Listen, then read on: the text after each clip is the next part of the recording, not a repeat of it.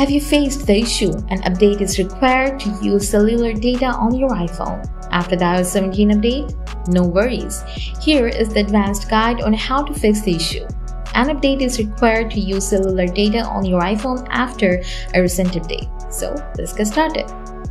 Method 1 On and off airplane mode. Slide down, turn on airplane mode, and wait for 30 seconds. And turn off it. After that, check whether your issue is solved or not. Otherwise, try our easy solution below. Method 2. Eject the SIM card and insert it back again. Often, ejecting your SIM and re-inputting back can solve network signal issues. After that, your problem will be solved. If you still have issues, then try out the last process. Method 3. Try to reset network settings.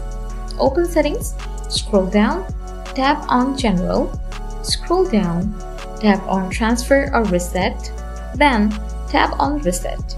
Select Reset Network Settings. After that, enter your passcode and reset your network settings. Make sure by Reset Network Settings, your phone network settings will be default, so you should remember your password as well. After that, hopefully your problem will be solved. But if you have any kind of issue, please write in the comment section below. And don't forget to subscribe to our channel. Thanks for watching.